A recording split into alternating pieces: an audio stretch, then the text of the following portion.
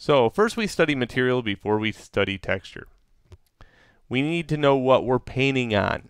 Okay, exactly what are we painting on? Okay, so I'm going to make that sphere that I always make just for demonstration. Divide it up a little bit and take off polyframe.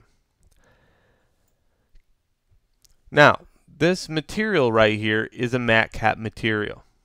And then over here in the material palette, I have my MatCaps, which are sitting on the top, and my standard materials that are sitting below. The difference between these two material sets are this.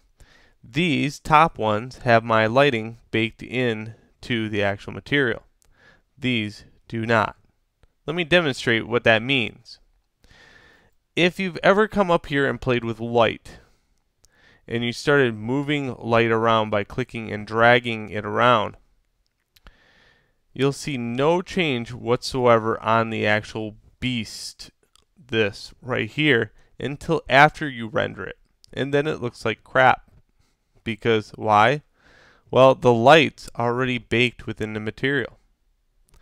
Now, if I go over to something like this, and you can see now that these are a little bit different colored, because I've messed around with the light. You can see by messing around with the light now, I get a different look altogether for these things. Okay, so MatCap materials cannot handle real light scenarios. In fact, MatCap materials can't handle lights at all.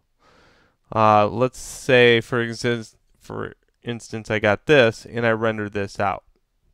I'll hit best render and it takes about oh two seconds because there's not much to this scene.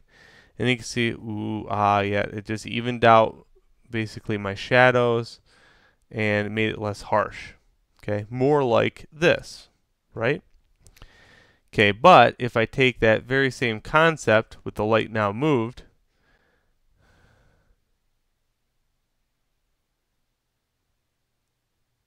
you can see the MatCap material cannot handle uh, the light change that much. The shadows are very harsh and contrasty, and you'll get that. And you'll see it's also kind of pixelated in some nature uh, based upon that material.